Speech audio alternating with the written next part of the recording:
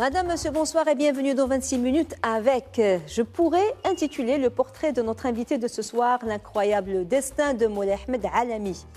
Car c'est de lui qu'il s'agit, un homme coréen prédestiné au départ à être le monsieur jazz au Maroc. Chef d'orchestre du Jazzablanca depuis 2013, il a aussi repris le flambeau du mythique ton jazz en 2019.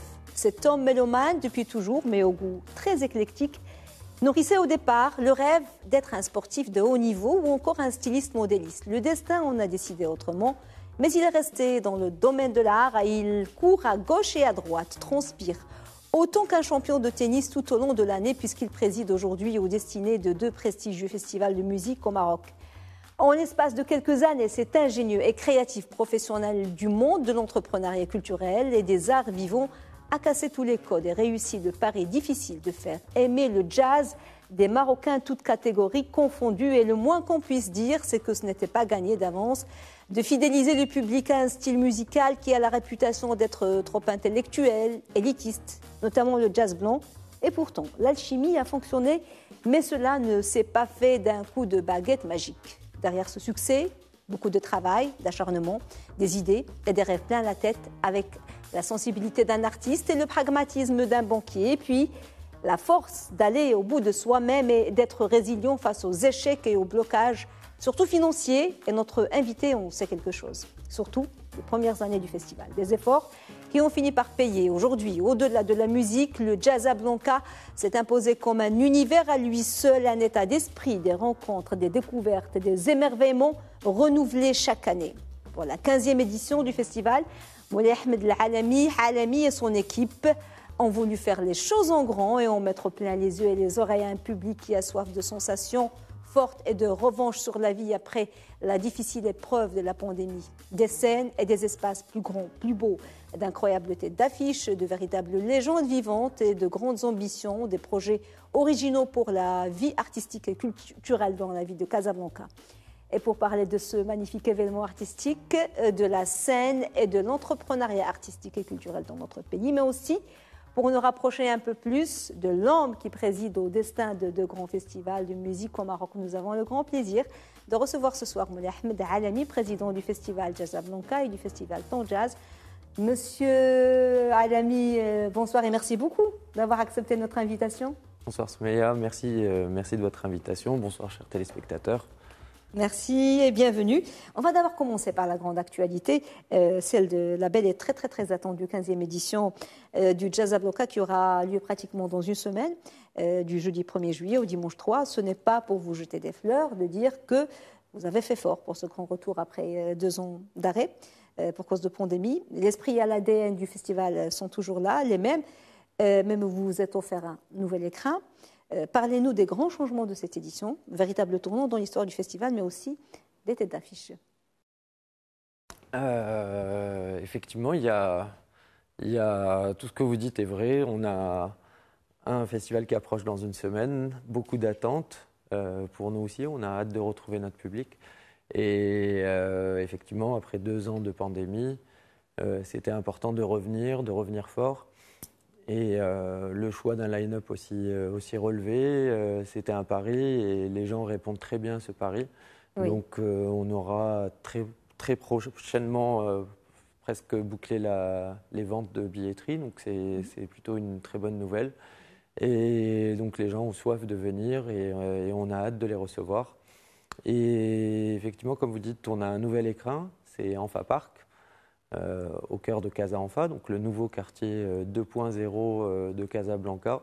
Qui est très très très beau, le jardin et le parc. Le jardin a embelli, les fleurs sont sorties, les arbres ont poussé. Donc cette pandémie, si on avait fait en 2020, peut-être que le parc aurait été un peu moins beau. Donc, donc il y a des bonnes choses malgré tout dans ces, dans ces deux ans de, de doute et de, la nature a repris euh, ses droits et ils ont poussé librement, tranquillement. Tranquillement, et on aura la chance, et le public aura la chance justement de découvrir euh, tous les aménagements qu'on a fait pour leur faire vivre une expérience euh, à la fois musicale très forte avec notre programmation, nos installations techniques qui sont de très haut niveau, et aussi euh, tout ce qu'on met autour pour créer cette ambiance, cette chaleur. Il y a des lieux de restauration, il y a des lieux de, de détente. Ben, on a 12 restaurants qui sont présents, on a plusieurs, euh, on a des créateurs qui sont là, une vingtaine de, créateurs marocains pour découvrir entre autres euh, des marques locales. on aura aussi une gaming zone où les gens pourront jouer, s'amuser et passer un bon moment, parce qu'il y a des moments où vous allez aimer un artiste, mais peut-être pas un autre. Et, comme vous avez quatre concerts chaque soir, de 18h à 1h du matin, on peut vous pardonner de, ne pas suivre les quatre concerts, mais on va essayer de vous garder avec nous. Et... En attendant le. Exactement. Oui. Alors, Ibrahim Malouf, Gilles Bartogil, Asaf Avidan, Ben Harper, euh, aux 4 Grammy Awards de son groupe The Innocent The Criminals, Arik Troufaz, Fit, Hamid Qasri et, et bien d'autres, Oum, ou encore Natacha Atlas. Euh, comment avez-vous réussi à goupiller tout ça, tout ce beau monde euh, et ces artistes euh, de ce calibre, alors que j'imagine qu'ils sont très très très demandés, surtout qu'on est en période estivale et après la pandémie? Vous en avez oublié un, je ah, crois. Excusez-moi. Non, non, vous n'avez pas, vous avez pas Moulato Astatke. Ouais, Moulato Astatke, ce qui nous a fait très plaisir, c'est que le jour où on a posté la programmation, il commence par dire je réalise un de mes rêves, venir jouer au Maroc. Donc quand vous avez euh, le pape du jazz éthiopien qui, vit ça, déjà on, on avait cette fierté d'avoir travaillé pour euh, rendre le rêve d'un monsieur possible et, mon rêve aussi à moi d'avoir Moulatou. Euh, après, toutes ces têtes d'affiche et ces, artistes qu'on a, avec lesquels on a travaillé, c'est des artistes avec lesquels on avait commencé à travailler en, en 2019, à la, fin de, à la fin de la dernière édition qu'on a organisée. On a eu des changements de dernière minute parce que certains étaient disponibles, d'autres pas disponibles. On a mhm. refait les programmations plusieurs fois. Parce qu'à chaque fois, on espérait que ça ne dure que 15 jours, 3 semaines, un mois, peut-être 3 mois. Et on espérait chaque fois refaire euh, prochaine édition. Finalement, on a la chance de pouvoir le faire. mais en, en, termes de délai, on, a commencé à travailler, c'est-à-dire qu'on était 1 jusqu'au 15 avril. Puis là, l'équipe euh, est revenue très vite. On a pu retravailler tous ensemble. Enfin, on était deux, parce qu'avec Cyril Foucault, qui est mon directeur programmation, on a continué à travailler à distance mhm. et à travailler euh, sur euh, le booking notamment. Et aussi garder la proximité avec nos partenaires et sponsors en leur expliquant tous les changements, tout ce qu'on espère faire en voyant les indicateurs passer au vert, on essayait de leur dire euh, euh, ne, n'oubliez pas Blanca, on va sortir. Quand Je ne sais pas, ah mais on va être là. On va être là. Donc on a, on a essayé de garder cette proximité aussi avec nos, nos équipes parce que ce n'était pas évident pour eux, même si on a passé. Euh, on a continué à travailler toute la première année ensemble, mhm. mais euh, l'équipe, ce n'est pas que l'équipe permanente. Il y a tout un tas de métiers qui ont souffert pendant deux ans, des gens qui sont en freelance et qui constituent malgré tout notre famille de, gens avec qui on travaille.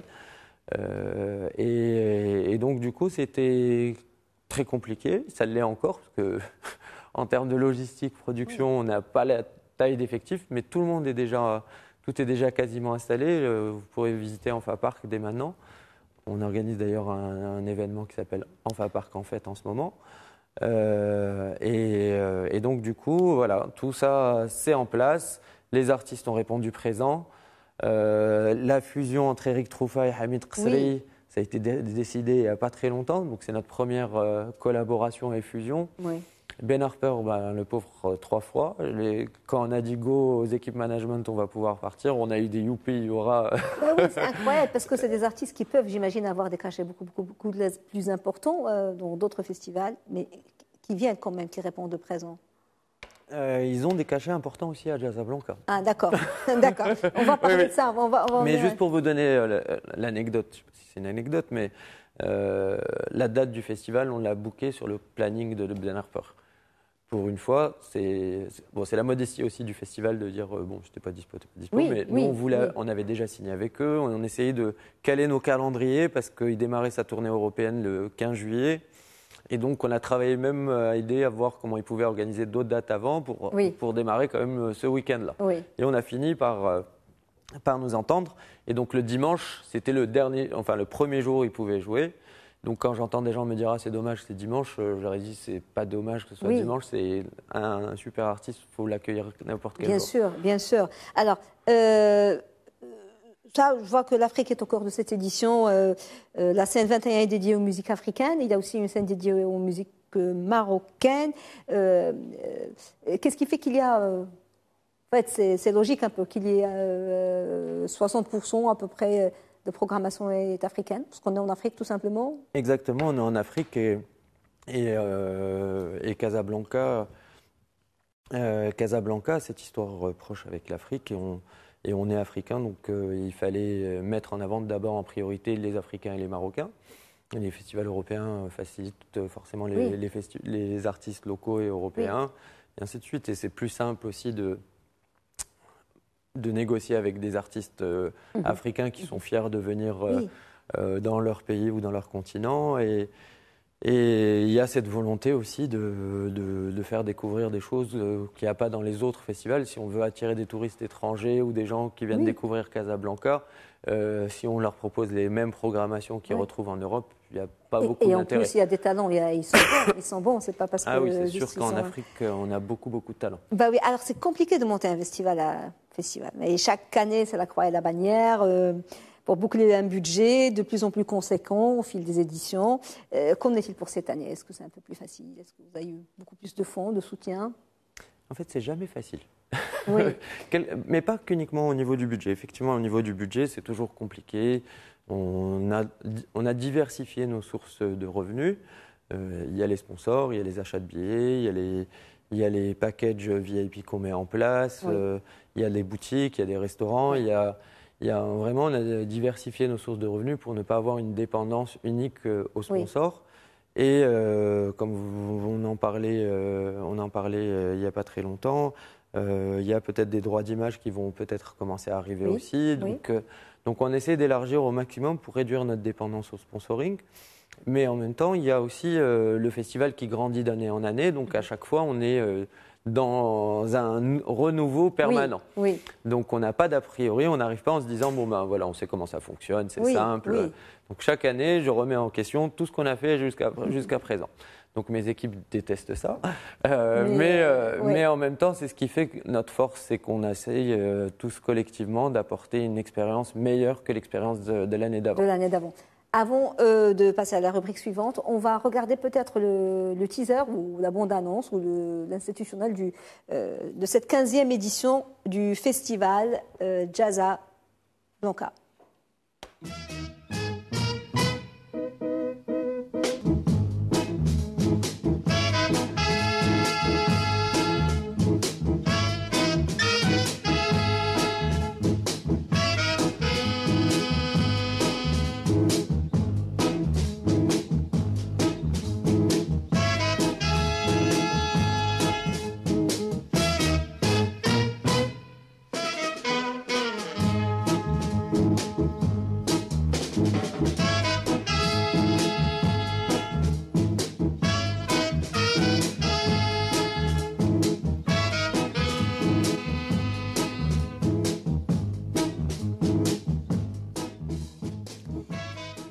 Ça donne vraiment envie.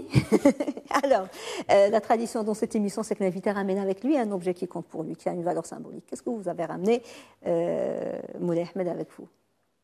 Euh, Celui qui m'accompagne ah au long de la journée, tout au long de ma journée, c'est mon casque qui a, qui a pris un coup de vieux, mais qui marche toujours très bien mais je compte pas le changer de sitôt. Alors, vous participez avec votre directeur artistique, j'imagine, au choix des, euh, des artistes, mhm. même si à la base, ce n'est pas votre monde, mais euh, après, vous êtes. Euh, ben, je sais pas, je suis. Vous êtes devenu un connaisseur? Non, non, non, non, je ne suis, pas, je suis pas le plus grand spécialiste. Il y, a des, il y a des gens qui sont bien plus connaisseurs que moi. vous savez, on travaille beaucoup au feeling. D'une manière générale, dans la musique, c'est de l'émotion, c'est effectivement, il y a de la technique, mais ce qui reste au final, c'est l'expérience live. Et ce que vous vivez en live, euh, c'est quelque chose de très personnel. Et, et donc, euh, notre premier critère, c'est déjà comment, qu'est-ce qui se passe? Parce qu'il y a des albums studio qui sont magnifiques, mais qui en mhm. live n'ont. Ça donne rien. Ça, donne rien. Il n'y a pas de réaction avec le public, d'interaction avec le public. Donc l'artiste qui, qui interagit avec son public, déjà, c'est un de nos premiers critères euh, de, de sélection et, et- et on est très émotionnel. Donc euh, on va pas être sur du jazz intellectuel évidemment, Oui, oui. mais on va être plutôt sur du jazz rythmique, sur des, Mhm. des rythmes africains, des rythmes euh, occidentaux, mais de la musique actuelle, du, de la pop, du, de la- du rock, du blues. Oui. Donc euh, nos choix sont vraiment tellement éclectiques que c'est. Après, on essaie d'avoir des choses qui ont du sens, qui s'accompagnent euh, sur une scène. Euh, vous n'allez pas mettre quelque chose de calme, euh, de quelque chose de très, Oui. très rythmé, puis quelque chose de calme. Oui. Donc on a essayé de s'adapter aussi bien du rythme Oui. de la journée, c'est-à-dire qu'à 18h, vous allez plutôt trouver un jazz plutôt calme. Et, en- et au fur et à mesure, ça va s'accélérer. Pour finir en apothéose. Ouais, ouais, c'est un équilibre très difficile à avoir entre le jazz accessible et puis ne pas perdre votre âme, rester un festival de jazz. C'est très important. Mon âme n'est pas qu'un festival de jazz, mon âme Ah, pas elle qu'un est- festival elle est de jazz. au quotidien. Euh, Oui. je-. Oui, oui, on est très fiers de ce qu'on fait, on aime bien. C'est c'est Jazzablanca, c'est c'est- son nom, il est mélangé. euh, Il y a du jazz dans la ville de Casablanca et il a son identité casablancaise qui n'est pas l'identité d'un autre festival de jazz. Vous parlez beaucoup de Casablanca. C'est une ville que vous aimez beaucoup. Euh, vous avez des liens très forts. Est-ce que vous, n'êtes à- vous êtes né à Casablanca et, et si oui, dans quel quartier? Est-ce que vous l'aimez vraiment, vous, cette ville?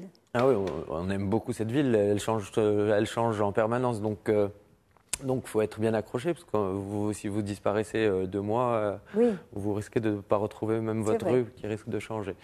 Euh, moi, j'ai grandi euh, rue de Berne, euh, à côté, dans le quartier d'Europe, dans une petite maison de quartier que mes parents louaient. Et mon père avait son atelier de.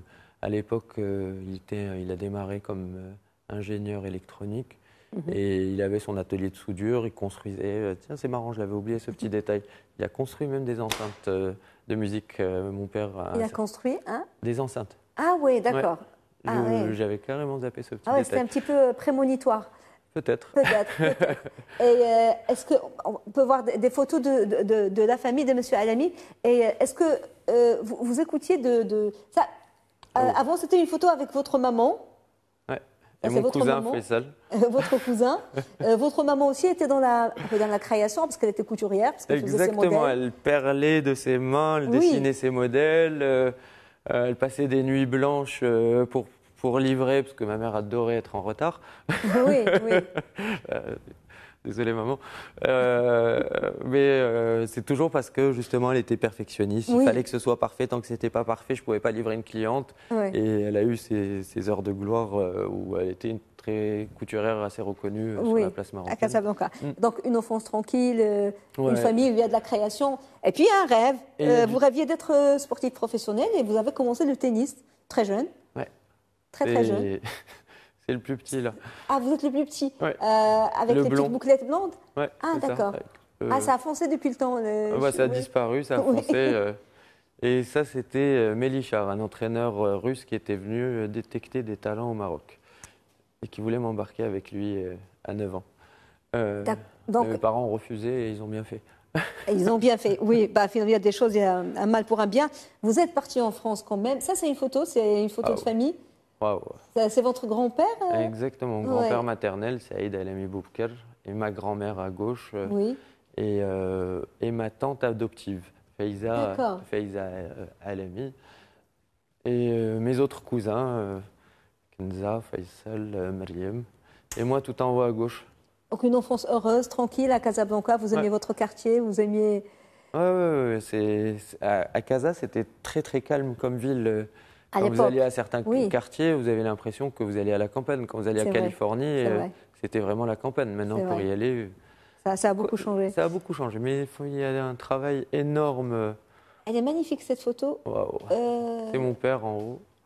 Mon père, euh, moi dans ses bras, et ma sœur euh, Dina Très très très jolie photo. avec la R12. La R12. oui. Ah, c'est une très belle photo. Ah oui, c'est. Pas, les gens étaient plus beaux avant, Vous ou avez c'est le noir et blanc, photos ou je ne sais pas.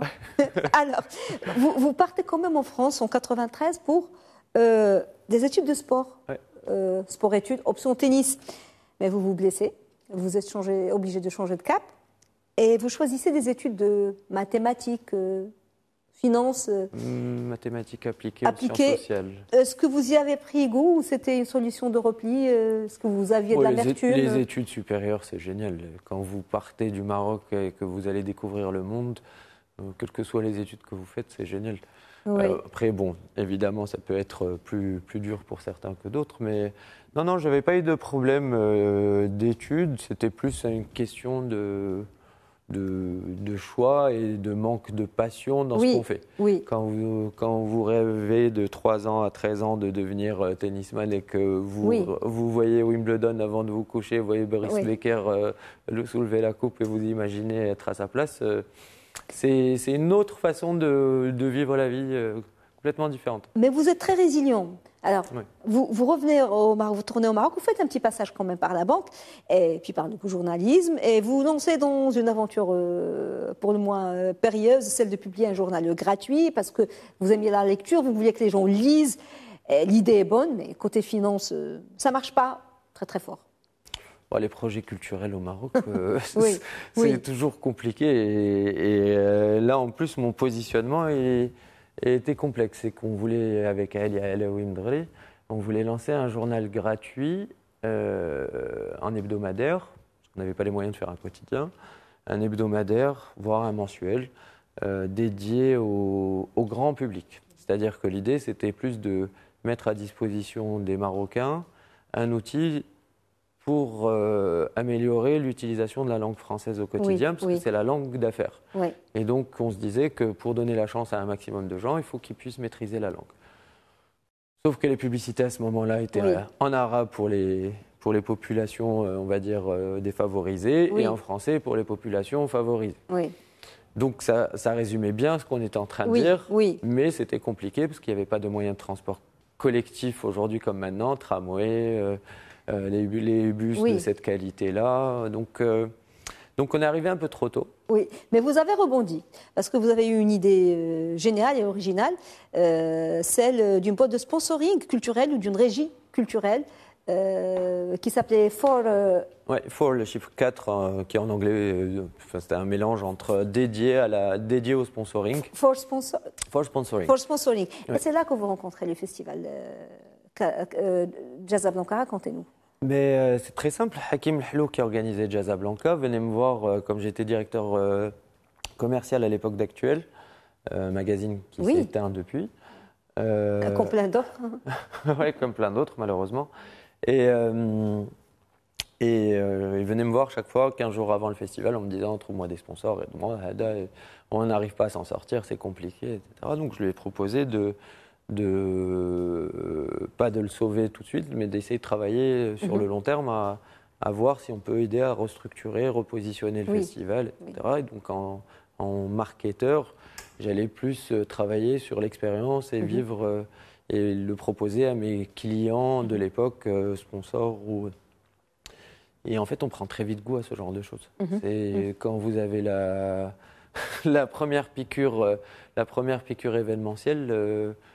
Euh, là, j'ai retrouvé toute l'émotion, toute la passion, toute la difficulté quand vous voulez être champion de tennis. Oui. Et euh, il y a des moments durs, euh, vous travaillez, vous ne savez pas, vous perdez, vous gagnez. Oui. Et donc, c'est quelque chose qui est très proche du tennis professionnel, de mon devenir professionnel d'événementiel. Oui, vous challenger des choses comme ça. C'était le début d'une aventure qui dure depuis 9 ans. Euh, avec le Casablanca. C'est un festival qui a grandi, qui a pris beaucoup d'envergure au fil des années. Cette première année au Megarama Casablanca, cette année passée à l'hippodrome, à Casa et euh, aux Nations Unies. Casablanca s'installe désormais à Anfa Park. En 2013, vous tourniez autour de quelque chose comme 3200 et quelques euh, côté public. La dernière édition, celle de 2019, vous étiez à 15 000 personnes à l'hippodrome et 65 000 euh, sur la place des Nations Unies. Quel est le secret de cette ampleur euh, que l'événement prend au fil des années? Est-ce que c'est là votre capacité à vous réinventer? Est-ce que c'est la diversification des programmes? Ou bien c'est la maturité musicale du public lui-même? Oh, le public, je pense qu'il est, mûr. Après, il y, a, tous ces facteurs en même temps. En même temps En même temps, c'est-à-dire que déjà le, fait d'avoir des outils de communication et de diffusion massive, mhm. quand vous parlez euh, de quelque chose, ça se répand beaucoup plus facilement qu'à l'époque.